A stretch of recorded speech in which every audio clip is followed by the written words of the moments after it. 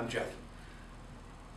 I'm going to talk to you about the different components and parts of the beaver board stand-up paddleboard. First of all, this black part is a deck pad. This is where you stand. There's many different positions you can stand on it, but we'll talk about that later in the instructional video of how to stand up paddleboard. This board in particular is a 10 foot 6 inch in length board and it's part of the Beaverboard stand-up paddleboard package available exclusively through Canadian Tire stores across Canada. This board is 10 foot 6 inches in length and 33 inches in width and 5 inches thickness. So the different parts we have up here, we have the handle. This is a carry handle. It is off center to allow for different people with different size arms to carry it. If you have shorter arms, you'll notice you'll carry it from this side. And the best way to carry the paddleboard is like this. If you have longer arms, you'll actually use, grab it from the other side. Another important feature in the center of the board is the automatic air breather vent. This is really important to your board. Your board is made out of EPS foam. Kind of like styrofoam, but really high quality and really high density. Like styrofoam, it's comprised mainly of air bubbles. These air bubbles, or I should say the air in the bubbles, heats up as the board heats up. This is, and as the air heats up, the air molecules will expand. Now, the board is covered in several layers of fiberglass and epoxy, and no air is going to escape from there. So what will happen, think of a balloon. If you heat up a balloon, the balloon will expand because the air has no place to go. It's this automatic air breather valve, which is key to keeping good care of your board. There is a Gore-Tex membrane covering a hole that goes right into the board. This Gore-Tex membrane allows for air to be released and prevents water from coming in. It's a good idea, before you go, just take your finger and make certain it's on there tight. Just make certain it's nice and tight because the last thing you want is for the little membrane cap to come off. And if you use this in salt water, take a cup of water and pour it into there after just to clean the salt water out. Now we're going to go to the, the nose of the board.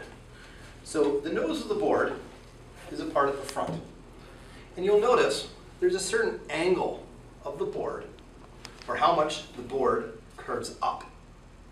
This is called the nose rocker. Now, most surfboards have a high nose rocker. It'll come up to about here.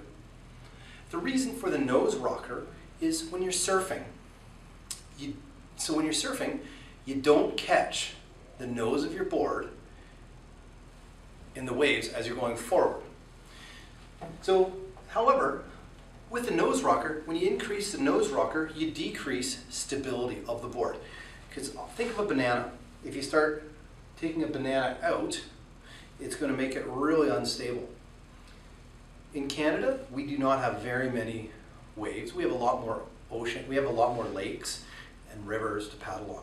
So what we've done with Beaverboard is we've decreased the nose rocker just enough so that it increases the stability tenfold.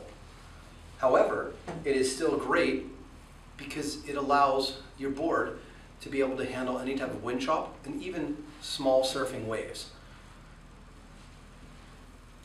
And this nose rocker is an excellent way that we've found to make the board more stable. The sides of the boards are called the rails. These are the rails. And the rear of the board is called the tail. Now, I'm going to talk a lot about the tail rocker here. Very similar to the nose rocker in that we've decreased the nose rocker as well because we don't have to worry too much about catching the nose, sorry, the tail of the board in waves. Now, part of the beaver board package, it comes with this leash. And in the leash, you'll see it comes with a Velcro cuff padded with neoprene You put that around your ankle. This is a bit of a safety, this is a safety strap just to keep you attached to your board. So you attach this part to your ankle and it's got a rail saver, swivel uh, leash attachment. Just, it helps to save the rail on the side of the board because as opposed to dragging along the side of your board, it rolls. It's got a convenient coiled leash. And so when you take this out of the package, it, it looks like this. How you attach it, we have two attachment points for your leash. Choose either one, whichever foot you want. If you want to attach the leash to your right foot, put it in the right uh, leash attachment. So how we do it is we undo the Velcro, it's triple layered, and we take out the little string, and then just carefully we take the uh, string and we just feed it through the little leash attachment and just fold the string through itself. Fold the Velcro back. And there you go. You're fully secured to your board.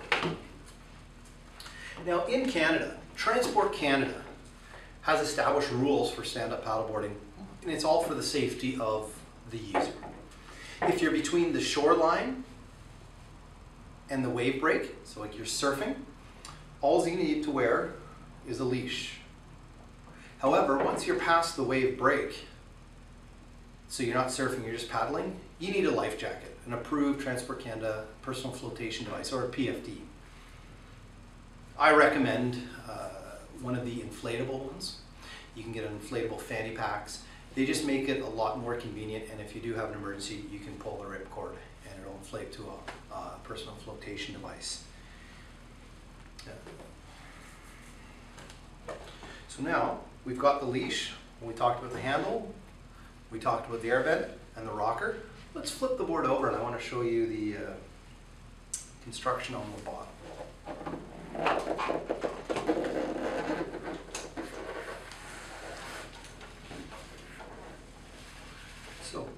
If you can notice the curve of the board, there is still a curve. It's just not as curved with the nose and the tail rocker as most surfboards. Again, this is for the stability. Now we have taken a performance proven hull design that has been around for many years to create a very responsive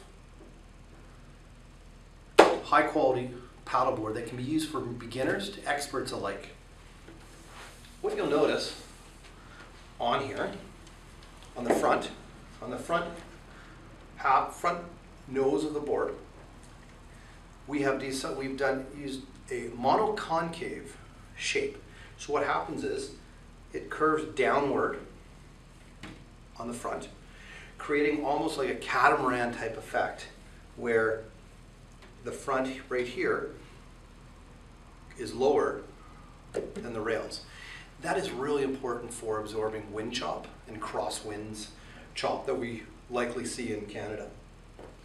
Then coming down underfoot, so the center third of the board, it's flat. It's flat underfoot. That creates a very stable standing surface. And then as we move to the back of the board, it merges into a very slight V.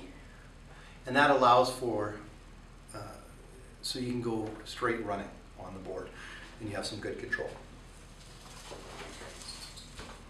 Now another feature of the board are the fins. The center fin, this is a center fin. This is called a longboard fin. And it goes into the center here. I recommended before and after use or after using it, taking them out, because the last thing you want to do is damage your board uh, by hitting something while you're unloading or loading your, your stand-up paddleboard. So your first step, I'll show you how to install them. First thing to do is you have a little square plate attached to the end of a screw. This is a Phillips screw. Try not to lose these because these are integral to it. And then if you take a quick closer look,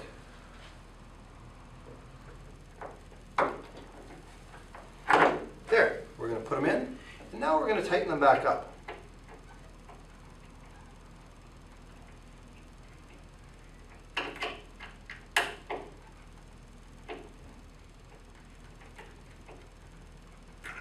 Again, they're threaded into the plastic, so we don't want you to over tighten them, but you'll feel when they start tightening up.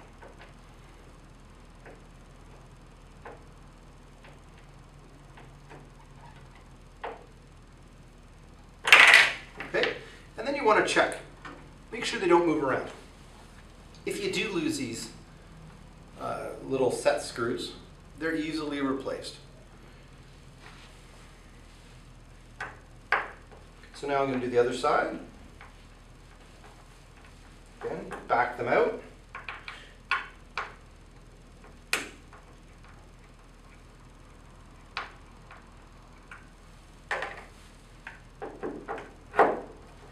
Insert it in.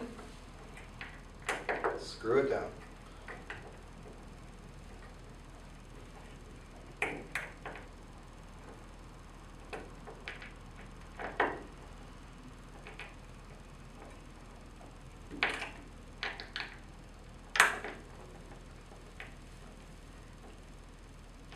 Okay, now we're set up. Again, before you go, double check, make sure everything's tight. Um, And you can see with the length of the boards, a good rule of thumb is not to get on your board until it's at least knee deep. That way you'll preserve your boards because if you do step on water, if you do step on the board in very shallow water, they have a tendency of, these may have a tendency of breaking, especially these small side FCS side thrusters. The reason we would rather the fins break than tear out the fin box. We do have replacements available for all, all the fins.